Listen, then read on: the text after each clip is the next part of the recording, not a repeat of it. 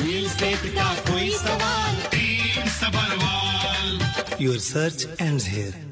ਵਧੀਆ ਅਸੀਂ ਕੈਨੇਡਾ ਦੇ ਟੌਪਿਕਸ ਤੇ ਗੱਲ ਕਰ ਹੀ ਰਹੇ ਹਾਂ ਅਸੀਂ ਕੈਨੇਡੀਅਨ ਹੋਰ ਖਬਰਾਂ ਔਰ ਸਾਡੀ ਲੋਕਲ ਖਬਰਾਂ ਵਾਸਤੇ ਸਾਡੇ ਨਾਲ ਜੁੜ ਗਏ ਨੇ ਸਾਡੇ ਦੋਨੋਂ ਮਹਿਮਾਨ ਰੀਅਲ ਸਟੇਟ ਦਾ ਕੋਈ ਸਵਾਲ ਪੀਕੇ ਸਬਰਵਾਲ ਸਾਹਿਬ ਪੀਕੇ ਜੀ ਬਹੁਤ ਬਹੁਤ ਸਵਾਗਤ ਹੈ ਵੈਲਕਮ ਸਰ ਕੀ ਹਾਲ ਹੈ ਜੀ ਠੀਕ ਹੈ ਜੀ Thank you very much, Idris ji, and very good morning to all our listeners. good morning sir Pankaj Moga ji ਬਹੁਤ ਬਹੁਤ ਸਵਾਗਤ ਹੈ welcome sir thank you very much ਇਦਰੀ ਜੀ ਮੇਰੀ ਤਰਫੋਂ ਵੀ ਸਭ ਨੂੰ ਗੁੱਡ ਮਾਰਨਿੰਗ ਜੀ ਗੁੱਡ ਮਾਰਨਿੰਗ ਬਹੁਤ ਸਾਰੇ ਸਵਾਲ ਨੇ ਜੀ ਲੇਕਿਨ ਉਸ ਤੋਂ ਪਹਿਲਾਂ ਓਪਨਿੰਗ ਸਟੇਟਮੈਂਟ ਜੀ ਪੀਕੇ ਜੀ ਓਪਨਿੰਗ ਸਟੇਟਮੈਂਟ ਦੇਖੋ ਜੀ ਓਪਨਿੰਗ ਸਟੇਟਮੈਂਟ ਸਭ ਤੋਂ ਵੱਡੀ ਤੇ ਜਿਹੜੀ ਉਹ ਟੌਪਿਕ ਮੋਂਗਾ ਸਾਹਿਬ ਦਾ ਹੈਗਾ ਲੇਕਿਨ ਉਹਦਾ ਜਿਹੜਾ ਅਸਰ ਹੈਗਾ ਤੁਹਾਨੂੰ ਪਤਾ ਹੀ ਹੈਗਾ ਕਿ ਵੀ ਉਹ ਡਿਟੇਲ ਮੋਂਗਾ ਸਾਹਿਬ ਦੱਸ ਦੇਣਗੇ ਕਿ ਐਜ਼ ਐਕਸਪੈਕਟਡ ਜਿਹੜਾ ਸੀਗਾ ਉਸ ਤੋਂ ਵੀ ਜ਼ਿਆਦਾ ਇਨਫਲੇਸ਼ਨ ਥੱਲੇ ਆਈ ਹੈ 2.8 ਇਕਨੋਮਿਕਸ ਸਮਝ ਰਹੇ ਸੀ ਲੇਕਿਨ 2.7 ਤੇ ਆ ਗਈ ਹੈ ਪਰ ਮੈਂ real estate point of View ਨਾਲ ਕਹਾਂਗਾ ਕਿ ਭਈ ਇਹ ਰੀਅਲ ਸਟੇਟ ਵਾਸਤੇ ਬਹੁਤ ਚੰਗਾ ਹੋਇਆ। One of the main reason ਜਿਹੜਾ ਇੰਟਰਸਟ ਹੁਣ ਥੱਲੇ ਆਏਗਾ 24 ਜੁਲਾਈ ਨੂੰ ਜਿਹੜਾ ਕਿ ਨੋਬਡੀ ਕੈਨ ਸਟਾਪ ਇਟ ਉਹਦਾ ਸਭ ਤੋਂ ਵੱਡਾ ਇੱਕ ਕਾਰਨ ਵੀ ਉਹ ਇਹ ਦੇ ਰਹੇ ਨੇ ਕਿ ਕੁਆਟਰ ਪਰਸੈਂਟ ਇੰਟਰਸਟ ਥੱਲੇ ਹੋਣ ਦੇ ਬਾਵਜੂਦ ਵੀ ਰੀਅਲ ਸਟੇਟ ਦੇ ਅੰਦਰ ਕੋਈ ਐਕਟੀਵਿਟੀ ਨਹੀਂ ਆਈ which was a very good news for Bank of Canada ਉਹ ਚਾਹੁੰਦਾ ਸੀਗਾ, ਉਹਨੂੰ ਇਹ ਡਰ ਸੀਗਾ ਕਿ ਇੰਟਰਸਟ ਘਟ ਕਰਨ ਦੇ ਬਾਅਦ ਕਿਤੇ ਫਿਰ ਅੱਗ ਨਾ ਲੱਗ ਜਾ ਰੀਅਲ ਸਟੇਟ ਨੂੰ। ਉਹਨਾਂ ਨੇ ਦੇਖ ਲਿਆ ਕਿ ਇਹਦੇ ਬਾਵਜੂਦ ਵੀ ਰੀਅਲ ਸਟੇਟ ਦਾ ਪ੍ਰਾਈਸ 1.4% ਹੋਰ ਥੱਲੇ ਆ ਗਏ ਐਕਟੀਵਿਟੀ ਹੋਰ ਥੱਲੇ ਆ ਗਈ ਲਿਸਟਿੰਗਸ ਹੋਰ ਵਧ ਗਈਆਂ, ਤੇ ਇਹਦੇ ਨਾਲ ਉਹਨਾਂ ਨੂੰ ਐਨਕਰੇਜ ਮਿਲ ਗਈ ਬਹੁਤ ਜ਼ਬਰਦਸਤ ਐਨਕਰੇਜਮੈਂਟ ਮਿਲੀ ਉਹਨਾਂ ਨੂੰ ਔਰ ਮੇਰੇ ਹਿਸਾਬ ਨਾਲ ਹੁਣ 24 ਜੁਲਾਈ ਪੱਕਾ ਹੈ। ਮੈਂ ਇਸ ਤੋਂ ਵੀ ਵੱਡਾ ਬੋਲਡ ਸਟੈਪ ਇੱਕ ਹੋਰ ਸਟੇਟਮੈਂਟ ਦੇ ਦਿੰਨਾ ਨਾਟ ਓਨਲੀ 24 ਜੁਲਾਈ ਸਤੰਬਰ ਵੀ ਪੱਕਾ ਮੇਰੇ ਨਾਲ ਹੋ ਚੁੱਕਿਆ ਹੈ ਇੰਟਰਸਟ ਥੱਲੇ ਆਉਣ ਵਾਸਤੇ। ਜੀ। ਠੀਕ ਹੈ ਜੀ। ਪੰਕਜ ਜੀ ਤੁਹਾਡੀ ਓਪਨਿੰਗ ਸਟੇਟਮੈਂਟ ਬਿਲਕੁਲ। ਜੀ ਬਿਲਕੁਲ ਯੂਨੀਵਰਸਿਟੀ ਜੀ ਪੀਕੇ ਜੀ ਨੇ ਬੜੀ ਬੜਾ ਹੀ ਸਹੀ ਐਨਾਲਾਈਜ਼ ਐਨਾਲਾਈਜ਼ ਕੀਤਾ ਉਸ ਚੀਜ਼ ਨੂੰ। ਕਿ- ਕਿਉਂਕਿ ਰੀਅਲ ਐਸਟੇਟ ਤੇ ਬਹੁਤ ਵੱਡੇ ਮੈਂ ਕਹਾਂ ਦਾ ਬਾਦਸ਼ਾਹ ਕਹਿ ਸਕਦਾ ਸੀ ਪੀਕੇ ਜੀ ਤੋਂ ਬਿਲਕੁਲ ਪੀਕੇ ਜੀ, ਮੈਂ ਤੁਹਾਡੇ ਨਾਲ 100% ਐਗਰੀ ਕਰਦਾ। ਇਸ ਵੇਲੇ ਹੁਣ ਬੈਂਕ ਆਫ ਕੈਨੇਡਾ ਦੇ ਹੱਥ ਵਿੱਚ ਪੂਰੀ ਪਾਵਰ ਮਤਲਬ ਉਹਨੂੰ ਸੋਚਣ ਦੀ ਜ਼ਰੂਰਤ ਨਹੀਂ ਹੈਗੀ ਇਸ ਵੇਲੇ, ਮੇਰੇ ਹਿਸਾਬ ਨਾਲ, ਕਿਉਂਕਿ ਜੋ ਚੀਜ਼ਾਂ ਹੋਈਆਂ ਨੇ, ਜਿਸ ਤਰ੍ਹਾਂ ਚੱਲੀਆਂ ਨੇ 2.7% ਠੀਕ ਹੈ ਥੋੜਾ ਜਿਹਾ ਆਇਲ ਦਾ ਫ਼ਰਕ ਆਇਆ, ਲੇਕਿਨ ਬਾਕੀ ਜਿਹੜੀਆਂ ਚੀਜ਼ਾਂ ਨੇ ਨਾ ਐਸ਼ ਅਗਰ ਉਹਨੂੰ ਪੂਰੀ ਤਰ੍ਹਾਂ ਅਗਰ ਪੜਿਆ ਜਾਵੇ ਨਾ ਵਿੱਚ, ਬਹੁਤ ਸਾਰੀਆਂ ਚੀਜ਼ਾਂ ਨੇ ਜਿਹੜੀਆਂ ਡਿਊਰੇਬਲ ਗੁੱਡਸ ਨੇ ਜਿਹੜੀਆਂ ਮਾਈਨਸ 1.8% ਗਈਆਂ ਨੇ। ਅਗਰ ਤੁਸੀਂ ਦੇਖੋ ਸਿਲਵਰ ਸਰਵਿਸ ਜਿਹੜੀਆਂ ਜੂਨ ਚ ਗਈਆਂ ਨੇ, ਉਹ ਮਾਈਨਸ 12% ਗਈਆਂ ਨੇ ਇਹਦੇ ਚ। ਸੋ ਮਤਲਬ ਮਾਈਨਸ ਦਿਖਦੀਆਂ ਨੇ। Travels and tours 11% gasoline 3% so minus ਮੈਨੂੰ ਜ਼ਿਆਦਾ ਦਿਖਦੇ ਪਏ ਨੇ ਇਹਦੇ ਦੈਨ ਦਾ ਪਲੱਸ ਯੂਜ਼ ਵਹੀਕਲ 4.5% ਮਾਈਨਸ ਗਏ ਨੇ। ਫਰਨੀਚਰ ਲਗਭਗ 4% ਮਾਈਨਸ ਚ ਗਿਆ। ਮਤਲਬ ਪਿਛਲੇ ਸਾਲ ਦੇ ਨਾਲ ਕੰਪੇਅਰ ਕਰ ਰਹੇ ਹਾਂ ਅਸੀਂ।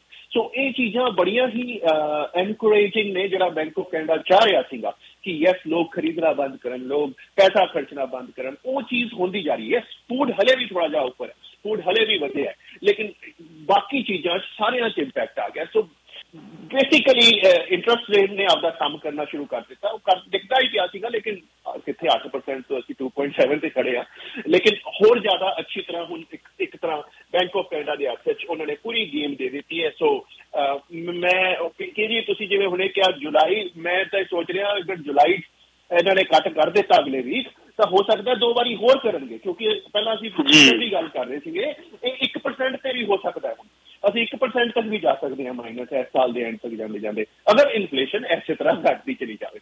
ਜੀ ਯੂਜ਼ਵਲ ਔਰ ਅਗਰ ਮੈਂ real estate point of View ਨੂੰ ਕਹਾਂ, ਤੁਸੀਂ ਦੱਸਿਆ ਕਿਸ ਕਿਸ ਚੀਜ਼ ਦੀ ਪ੍ਰਾਈਸ ਥੱਲੇ ਆਇਆ ਫਰਨੀਚਰ ਟੈਬਿੰਗ ਐਂਡ ਆਲ ਦਿਸ ਲੇਕਿਨ ਦੇਖੋ, ਦੂਜੇ ਪਾਸੇ ਰੀਅਲ estate ਉਲਟੀ ਮਾਰ ਮਾਰ ਰਹੇ ਸੀ ਇਨਫਲੇਸ਼ਨ ਦੇ ਉੱਤੇ। 22.3% ਜਿਹੜਾ ਮਾਰਗੇਜ ਇੰਟਰਸਟ ਕਾਰਡ ਵੱਧ ਚੁੱਕੀ ਸੀ, ਜਿਹੜਾ ਇਨਫਲੇਸ਼ਨ ਨੂੰ ਥੱਲੇ ਨਹੀਂ ਆਉਣ ਦੇ ਰਿਹਾ ਸਰ ਮਾਰਗੇਜ ਇੰਸ਼ੋਰੈਂਸ ਜਿਹੜੀ ਸੀ 9.2% ਜੰਪ ਕਰ ਗਈ ਸੀ, ਜਿਹੜੀ ਥੱਲੇ ਨਹੀਂ ਆ ਰਹੀ, ਆਉਣ ਦੇ ਰਹੀ ਸੀ ਇਨਫਲੇਸ਼ਨ ਨੂੰ। ਰੈਂਟ ਅਕ੍ਰੋਸ ਦਾ ਕੰਟਰੀ 8.8% ਵਧ ਗਿਆ ਸੀਗਾ। ਤੇ ਇਹ ਇੰਟਰਸਟ ਰੇਟ ਕਮ ਹੋਣ ਨਾਲ ਉਹ ਇਹ ਇਸ ਪੁਆਇੰਟ ਆਫ View ਨਾਲ ਚੱਲ ਰਹੇ ਨੇ, ਜਿਹੜੇ ਕਿ ਮੋਗਾ ਸਾਹਿਬ ਤੁਸੀਂ ਔਰ ਮੈਂ ਪਿਛਲੇ 6 ਮਹੀਨੇ ਤੋਂ ਕਹਿ ਰਹੇ ਸੀਗੇ ਕਿ ਇੰਟਰਸਟ ਰੇਟ ਥੱਲੇ ਹੋਣ ਨਾਲ ਇਨਫਲੇਸ਼ਨ ਜਿਹੜੀ ਹੈਗੀ ਉਹ ਜਿਹਨੂੰ ਕਹਿੰਦੇ ਨੇ ਇਨਫਲੇਸ਼ਨ ਤੇ ਜ਼ਿਆਦਾ ਅਸਰ ਨਹੀਂ ਪਏਗਾ ਕਿਉਂਕਿ ਸਾਡੀ ਰੀਅਲ estate ਦੀ ਜਿਹੜੀ ਖਰਚੇ ਨੇ ਜਿਹੜਾ ਮੈਂ ਦੱਸਿਆ ਤੁਹਾਨੂੰ interest cost rent and mortgage ਉਹ ਵੀ ਤਾਂ ਥੱਲੇ ਆਏਗਾ। ਔਰ ਇਹ ਹੁਣ ਹੁਣ ਜਾ ਕੇ ਇਹ ਲੋਕ ਇਹ ਚੀਜ਼ ਬੋਲ ਰਹੇ ਨੇ ਕਿ ਵੀ ਹਾਂ, ਇਹਦੇ ਨਾਲ ਫ਼ਰਕ ਪਏਗਾ ਤੇ ਅਸੀਂ ਕਹਿੰਦਾ ਹੁਣ ਦੀ ਜਿਹੜੀ ਸਟੇਟਮੈਂਟ ਆਈ ਹੈ, ਉਹ ਇਹ ਕਹਿ ਰਹੀ ਹੈ। ਜੀ। ਜੀ, ਠੀਕ ਹੈ ਠੀਕ ਹੈ ਜੀ। ਔਰ, ਹਾਂਜੀ, ਕੁਝ ਸਵਾਲ ਵੀ ਹੈਗੇ ਨੇ, ਉਹ ਵੀ ਅਸੀਂ ਗੱਲ ਕਰਦੇ ਹਾਂ। ਲੇਕਿਨ ਉਸ ਤੋਂ ਪਹਿਲਾਂ ਪੀਕੇ ਜੀ, ਜਿਸ ਤਰ੍ਹਾਂ ਤੁਸੀਂ ਗੱਲ ਕਰ ਰਹੇ ਹੋ ਮੈਂ ਤੇ ਇਹ ਕਹਿ ਰਿਹਾ ਹੈਗਾ ਕਿ ਬਹੁਤ ਲੇਟ ਕੀਤਾ ਆ ਬੈਂਕ ਆਫ ਕੈਨੇਡਾ ਨੇ ਔਰ ਮੈਂ ਗੱਲ ਹਰ ਹਫ਼ਤੇ ਹੀ ਵੈਂਸਡੇ ਵੀ ਇੱਕ ਅੱਧੀ ਵਾਰੀ ਡਿਊਰਿੰਗ ਦਾ ਵੀਕ ਵੀ ਦੁਹਰਾ ਦਿੰਦਾ ਹੈ ਕਿ ਜਿਹੜਾ ਇਹਨਾਂ ਨੇ 0.25 ਤੋਂ ਇਸ ਵੀਕਐਂਡ ਮੈਂ ਸਰ ਸੰਡੇ ਨੂੰ ਟੋਰਾਂਟੋ ਸਟਾਰ ਦੇ ਵਿੱਚ ਇੱਕ ਆਰਟੀਕਲ ਪੜ੍ਹ ਰਿਹਾ ਸੀ। ਇੱਕ ਮਹਿਲਾ ਕਹਿ ਰਹੀ ਸੀਗੀ ਕਿ ਉਹਨਾਂ ਨੇ ਔਰ ਜਿਨ੍ਹਾਂ ਨੇ ਪੜਿਆ ਹੋਏਗਾ ਤਾਂ ਉਹਨਾਂ ਨੇ ਵੀ ਸਭ ਦੇਖਿਆ ਹੋਈ ਤਸਵੀਰ ਵੀ ਉਹਦੀ ਸੀਗੀ। ਉਹ ਕਹਿ ਰਹੀ ਸੀ ਕਿ 2012 ਚ ਉਹਨੇ ਕਰ ਲਿਆ। ਇਹ ਨਹੀਂ ਕਿ ਫੈਬਰੂਰੀ 2022 ਜਦੋਂ ਪੀਕ ਸੀਗਾ, ਉੱਥੇ ਕਈ ਲੋਕ ਕਰ ਲੈ ਕੇ ਬੈਠੇ ਪਰ 2012 ਚ ਕਰ ਲਿਆ। ਉਹ ਕਹਿੰਦੀ ਜੀ ਕਦੇ ਵੀ ਇਹਨਾਂ ਦੇ ਮਾਰਗੇਜ ਰੇਟ ਇੰਨੇ ਹਾਈ ਹੋਏ ਨਹੀਂ। ਹੁਣ ਅਚਾਨਕ ਮਾਰਗੇਜ ਦੇ ਰੇਟ ਇਹਨਾਂ ਨੇ ਇੰਨੇ ਹਾਈ ਕਰ ਦਿੱਤੇ ਨੇ। ਉਹ ਕਹਿ ਰਹੀ ਹੈ ਕਿ ਮੈਨੂੰ ਘਰ ਵੇਚਣਾ ਪੈ ਰਿਹਾ। ਤੁਸੀਂ ਪੜੋ ਟੋਰਾਂਟੋ ਸਟਾਰ ਦੇ ਵਿੱਚ ਇੱਕ ਆਰਟੀਕਲ ਬੜਾ ਵੱਡਾ ਆਇਆ ਸੀ ਇਸ ਵੀਕਐਂਡ ਦੇ ਉੱਤੇ। ਸੋ ਅਸੀਂ ਵੀ ਇਹੀ ਗੱਲ ਕਰ ਰਹੇ ਸੀਗੇ ਕਿ ਜਦੋਂ ਲੋਕਾਂ ਨੂੰ ਆਦਤ ਪੈ ਗਈ ਸੀਗੀ ਕਿ ਇਸ ਲੈਵਲ ਤੇ ਹੀ ਰਹਿਣਾ ਹੈ, ਮੈਂ ਨਹੀਂ ਕਹਿੰਦਾ ਕਿ ਕੋਈ ਟੋਰਾਂਟੋ ਜਿਹੜਾ ਆਪਣਾ ਬੈਂਕ ਆਫ ਕੈਨੇਡਾ ਉਹਨੂੰ ਹੱਕ ਹੈ ਆਪਣਾ ਰੇਟ ਵਧਾਉਣ ਦਾ। ਲੇਕਿਨ ਅਚਾਨਕ 0.25 ਤੋਂ ਤੁਸੀਂ ਕਦੇ ਵੀ 2% ਨਹੀਂ ਟੱਚ ਕੀਤਾ। ਤੁਸੀਂ 10-12 ਸਾਲ ਦੀ ਹਿਸਟਰੀ ਕੱਢ ਕੇ ਦੇਖ ਲਓ, ਫਿਰ ਬੰਦੇ ਨੂੰ ਲੱਗਦਾ ਜੀ ਉਹੀ 0.25 ਨਹੀਂ ਹੋਏਗਾ ਤਾਂ 1% ਹੋ ਜਾਏਗਾ 1.5% ਹੋ ਜਾਏਗਾ, ਪੌਣੇ 2 ਚੱਲ ਜਾਏਗਾ 2% ਵੀ ਨਹੀਂ ਹੈ। ਤਾਂ ਤੁਸੀਂ ਸਿੱਧਾ ਹੀ ਫਟਾਫਟ 0.25 ਤੋਂ 5% ਤੱਕ ਲੈ ਜਾਓ। ਲੋਕਾਂ ਦਾ ਇਹਦੇ ਨਾਲ ਬੜਾ ਨੁਕਸਾਨ ਹੋਇਆ ਹੈ ਔਰ ਮੈਂ ਇਹਦੇ ਵਿੱਚ ਹਮੇਸ਼ਾ ਬੈਂਕ ਆਫ ਕੈਨੇਡਾ ਨੂੰ ਜ਼ਿੰਮੇਵਾਰ ਸਮਝਾਂਗਾ ਕਿ ਇਨਫਲੇਸ਼ਨ ਘਟਾਉਣੀ ਜ਼ਰੂਰੀ ਸੀਗੀ, ਲੇਕਿਨ ਇੰਨਾ ਤੁਸੀਂ ਨੁਕਸਾਨ ਕਰ ਦਿੱਤਾ ਹੁਣ ਆ ਜਾਂਦੇ ਇੱਕ ਹੋਰ ਮੁੱਦੇ ਦੇ ਉੱਤੇ। ਪੀਕੇ ਜੀ, ਤੁਸੀਂ ਗੱਲ ਕਰ ਰਹੇ ਹੋ ਜਿਸ ਤਰ੍ਹਾਂ ਮੈਂ ਵੀ ਕਹਿੰਦਾ ਵੀ 99% ਲੋਕ ਇਹੀ ਗੱਲ ਕਰ ਰਹੇ ਨੇ ਕਿ ਮਾਰਗੇਜ ਦੇ ਰੇਟ ਘਟਣਗੇ। ਲੇਕਿਨ ਹਜੇ ਵੀ ਤੁਸੀਂ ਆਕਸਫੋਰਡ ਇਕਨੋਮਿਕਸ ਕਰੋ। ਆਕਸਫੋਰਡ ਇਕਨੋਮਿਕਸ ਜਿਹੜਾ ਹੈ ਆਕਸਫੋਰਡ ਇਕਨੋਮਿਕਸ ਇਹ ਕਹਿ ਰਿਹਾ ਹੈ ਕਿ ਨਹੀਂ ਜੀ, ਨਹੀਂ ਨਹੀਂ ਰੇਟ ਘਟ ਹੋਣਾ ਜੁਲਾਈ 'ਚ ਸਪਟੈਂਬਰ 'ਚ ਹੋਣਾ ਹੈ। ਮਾਈਕਲ ਡੈਵਨਪੋਰਟ ਦਾ ਤੁਸੀਂ ਆਰਟੀਕਲ ਪੜੋ ਮਾਈਕਲ ਡੈਵਨਪੋਰਟ ਵੀ ਕਹਿ ਰਿਹਾ ਕਿ ਬੈਂਕ ਆਫ ਕੈਨੇਡਾ ਜਿਹੜਾ ਹੈ, ਹਜੇ ਹੋਰ ਐਵੀਡੈਂਸ ਚਾਹੁੰਦਾ ਹੈ ਕਿ ਕੋਰ ਇਨਫਲੇਸ਼ਨ ਜਿਹੜੀ ਘਟੇ,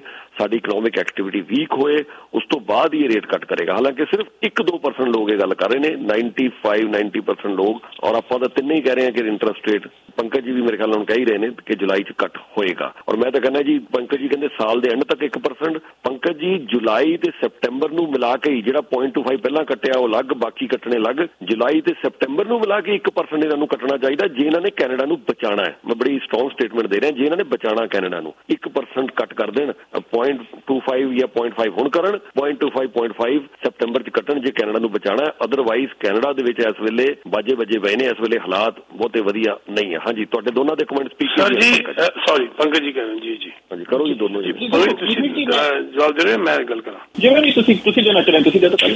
ਹਾਂਜੀ ਤੋਂ ਜੀ ਆਈਐਮਐਫ ਨੇ ਸੇਮ ਗੱਲ ਕੀਤੀ ਹੈਗੀ, ਤਾਂ ਨਹੀਂ, ਜਿਹੜੇ ਤੁਸੀਂ ਦੋ ਤਿੰਨ ਆਧਾਰ ਨਾਲ ਗੱਲ ਕੀਤੀ ਹੈ, ਉਸ ਤੋਂ ਬਿਲਕੁਲ ਵਿਪਰੀਤ ਆਈਐਮਐਫ ਨੇ ਕਿਹਾ ਹੈਗਾ ਕਿ ਇਹ ਪਹਿਲੇ ਥੱਲੇ ਆਣਾ ਚਾਹੀਦਾ ਸੀਗਾ। ਔਰ ਨਾਲ ਪਲੱਸ ਉਹ ਆ ਵੀ ਕਹਿ ਰਹੇ ਨੇ ਕਿ ਜਦ ਤੱਕ ਇਹਨਾਂ ਦੀ ਹਾਊਸਿੰਗ ਨੂੰ ਕਨੈਕਟ ਕੀਤਾ ਉਹਨਾਂ ਨੇ, ਜਦ ਤੱਕ ਹਾਊਸਿੰਗ ਦੀ ਇਹਨਾਂ ਦੀ ਸ਼ਾਰਟੇਜ ਜਿਹੜੀ ਹੈ ਚਲਦੀ ਰਹੇਗੀ, ਔਰ ਇਹ ਟਾਰਗੇਟ ਜਿਹੜਾ ਹੈਗਾ 2% ਤੱਕ ਬਿਲਕੁਲ ਅਗਲੇ ਸਾਲ ਦੇ ਹਾਫ ਤੱਕ ਆ ਜਾਣਗੇ, ਔਰ they are well within the target ਇਹਨਾਂ ਨੂੰ ਲਗਾਤਾਰ ਉਹਨਾਂ ਇੰਟਰਸਟ ਘੱਟ ਕਰਨਾ ਚਾਹੀਦਾ। ਆਰਬੀਸੀ ਨੇ ਇਹ ਕਿਹਾ ਹੈ ਕਿ ਇਹ ਚਾਰ ਵਾਰ ਲਗਾਤਾਰ ਇੰਟਰਸਟ ਥੱਲੇ ਆਏਗਾ ਆਰਬੀਸੀ ਨੇ ਇਹ ਰਿਪੋਰਟ ਦਿੱਤੀ ਹੈਗੀ। ਉਹਨਾਂ ਨੇ ਕਿਹਾ ਕਿ ਇਹ ਜਿਹੜਾ ਇਨਫਲੇਸ਼ਨ ਰਿਪੋਰਟ ਆਈ ਹੈ ਇਹ ਵਾਲੀ ਔਰ ਪੂਰ ਏਮਪਲੋਇਮੈਂਟ ਦੀ ਜਿਹੜੀ ਰਿਪੋਰਟ ਆਈ ਹੈ ਕੂਲਿੰਗ ਵੇਜਿਸ ਦੀ ਜਿਹੜੀ ਰਿਪੋਰਟ ਆਈ ਹੈ ਬਿਜ਼ਨਸ ਡੈਲੀਕੁਐਂਸੀਜ਼ ਜਿਹਦੀ ਤੁਸੀਂ ਅਹ, ਯੁੱਧ ਜੀ ਹੁਣੇ ਗੱਲ ਕਰ ਰਹੇ ਹੋ business delinquencies and household delinquencies ਇਹ ਸਾਰੀ ਗੱਲਾਂ ਮਜਬੂਰ ਕਰ ਰਹੀਆਂ ਨੇ ਬੈਂਕ ਆਫ ਕੈਨੇਡਾ ਨੂੰ ਕਿ enough is enough now just come down with interest rate ਔਰ ਮੇਰਾ ਮੇਰਾ ਪੂਰਾ ਮੰਨਣਾ ਹੈਗਾ ਹਰ ਜਿਹੜੀ ਮੀਟਿੰਗ ਹੋਏਗੀ 4 ਸਤੰਬਰ 22 ਅਕਤੂਬਰ 11 ਦਸੰਬਰ 4 24 24 ਜੁਲਾਈ ਦੀ ਹੈ ਹੀ ਹੈ ਦੋ ਹੋ ਗਿਆ ਔਰ ਨੈਕਸਟ ਤਿੰਨ ਵਿੱਚੋਂ ਦੋ। ਇਹ ਚਾਰ ਵਾਰ ਥੱਲੇ ਆਏਗਾ ਜੋ ਮੋਗਾ ਸਾਹਿਬ ਕਹਿ ਰਹੇ ਨੇ ਆਈ ਐਮ 100% ਵਿਦ ਹਿਮ ਜੀ ਬਿਲਕੁਲ ਮੋਗਾ ਸਾਹਿਬ, ਹਾਂਜੀ, ਬਿਲਕੁਲ ਬਿਲਕੁਲ। ਐਗਰੀ ਕਰਦਾ ਜੀ। ਇਹ ਵੀ ਚੀਜ਼ ਹੈ ਇੱਕ ਪੁਆਇੰਟ ਹੈ ਮੈਨੂੰ ਜਿਹੜਾ ਲੱਗਦਾ ਪਿਆ ਬੈਂਕ ਆਫ ਕੈਨੇਡਾ ਕਿਉਂ ਅਹ, 50 ਨਹੀਂ ਘਟਾਏਗਾ ਅੱਛੀ ਕਰ ਜਾਏਗਾ ਕਿਉਂਕਿ ਦੇਖੋ ਹਲੇ ਵੀ ਮੰਨ ਕੇ ਚੱਲੋ ਪੰਕਜ ਜੀ ਥੋੜਾ ਜਿਹਾ ਫੋਨ ਦੇ ਕਰੀਬ ਆਇਓ ਤੁਹਾਡੀ ਆਵਾਜ਼ ਹੋਰ ਬਿਹਤਰ ਆਈ ਫਿਰ ਹਾਂਜੀ। ਓਕੇ ਇੱਕ ਮਿੰਟ ਦਿਓ ਜੀ। ਇੱਕ ਮਿੰਟ ਮੈਂ ਮੈਂ ਮੇਰੇ ਖਿਆਲ ਹੈੱਡਫੋਨ ਮੈਨੂੰ ਉਤਾਰਨੇ ਪੈਣਗੇ ਉਸੇ ਦੀ ਵਜ੍ਹਾ ਨਾਲ ਹਾਂ ਕਿਉਂਕਿ ਤੁਹਾਡੀ ਆਵਾਜ਼ ਕਦੀ ਵਾਰ ਵਿਚਾਰ ਆਂਦੀ ਨਹੀਂ ਸਾਨੂੰ। ਹਾਂਜੀ ਹੁਣ ਠੀਕ ਹੈ? ਹਾਂ ਬਹੁਤ ਕਲੀਅਰ ਹੈ। ਉਹ ਹੈਡਫੋਨ ਨਾ ਮੈਨੂੰ ਦੇ ਦੇਣਾ ਬਾਅਦ ਵਿੱਚ ਤੁਸੀਂ ਠੀਕ ਹੈ? ਅੱਛਾ ਠੀਕ ਹੈ।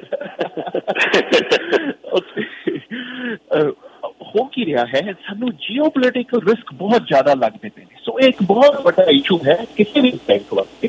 ਸਾਡੇ ਬੈਂਕ ਵਾਸਤੇ ਨਹੀਂ ਦੁਨੀਆ ਦੇ ਸਾਰੇ ਬੈਂਕਾਂ ਵਾਸਤੇ ਇੱਕ ਇਸ਼ੂ ਬਣਿਆ ਹੋਇਆ ਹੈ ਕਿਉਂਕਿ ਕਿਤੇ ਹੋਰ ਕੁਝ ਨਾ ਖੜਾ ਹੋ ਜਾਵੇ।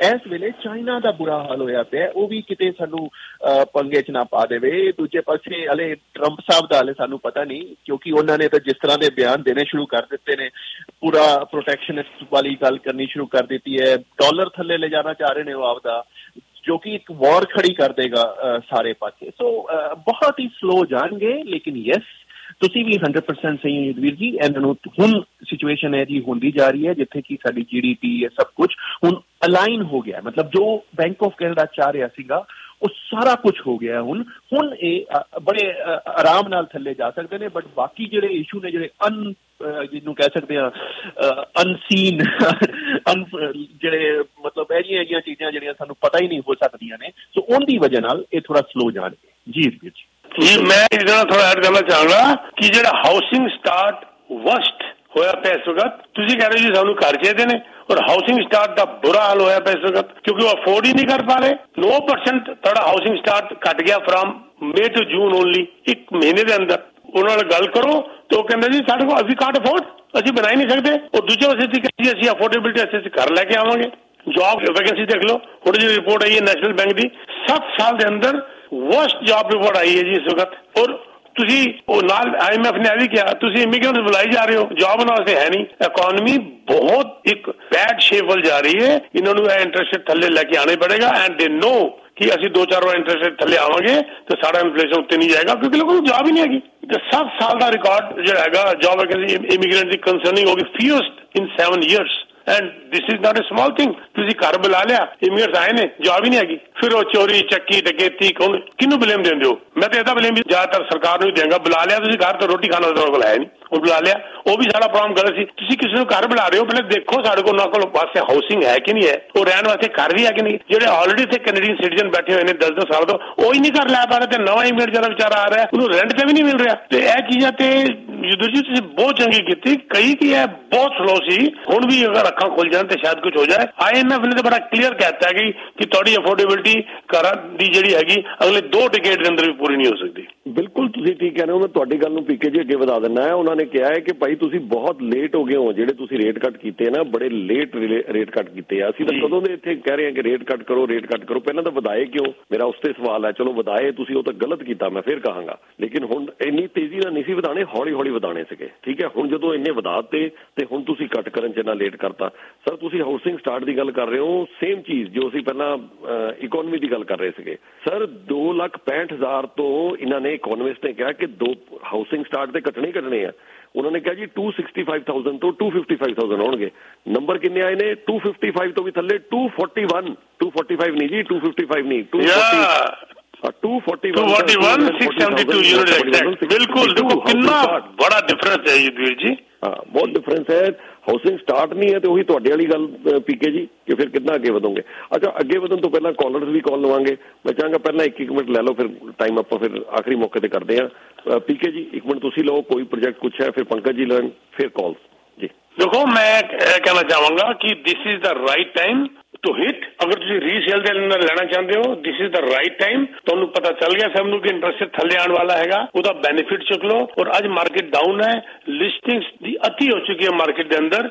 ਸੈਲਰ ਆਪਣੇ ਹੱਥ ਵਿੱਚ ਪ੍ਰਾਪਰਟੀਆਂ ਲੈ ਲੈ ਕੇ ਖੜਾ ਹੋਇਆ ਹੈ ਲਿਸਟਿੰਗ 12.3% ਜੰਪ ਹੋ ਗਈਆਂ ਨੇ ਔਰ ਉਹ ਜਿਹੜਾ ਹੈਗਾ ਜੰਪ ਜਿਹੜਾ ਹੈਗਾ ਉਹ ਬਾਇਰ ਦੇ ਵਾਸਤੇ ਬੈਨੀਫਿਟ ਹੈਗਾ ਤੁਸੀਂ ਐਡੀਸ਼ਨਲ ਰੇਟ ਕੱਟ ਵੀ ਬੈਨੀਫਿਟ ਚੁੱਕੋ ਘੱਟ ਪ੍ਰਾਈਸ ਦਾ ਵੀ ਬੈਨੀਫਿਟ ਚੁੱਕੋ ਔਰ ਨੈਗੋਸ਼ੀਏਟ ਕਰੋ ਰੀਸੇਲ ਦੇ ਨਾਲ ਸਾਨੂੰ ਕੰਟੈਕਟ ਕਰੋ ਅਸੀਂ ਤੁਹਾਨੂੰ ਨੈਗੋਸ਼ੀਏਟ ਕਰਕੇ ਦਿੰਨੇ ਆ plus if you want to invest this is the right time to invest ਕਿਉਂਕਿ ਇਸ ਵਕਤ ਜਿਹੜਾ ਹੈਗਾ ਮੇਰੇ को कई लोग आते हैं जी मैंने वहां ले लिया यहाँ ले लिया उधर ले लिया फिर उन्होंने कहना बिल्डर को जानते हो नहीं जी मुझे बिल्डर पता चला खुद ही किसी बेसमेंट से उठ के आया हुआ और किसी से मिलकर घर बनाने बैठ गया, दस, और तुमने कहा ले लेते हैं। उसका खुद का ही भरोसा नहीं है कि वो टिकेगा नहीं टिकेगा। तो best of the best builder solid builder location price and huge discount के साथ मैं जैसे इसको ओकुल में दे रहा हूँ, मैंने पिछले हफ़्ते सात आठ बेचे हैं।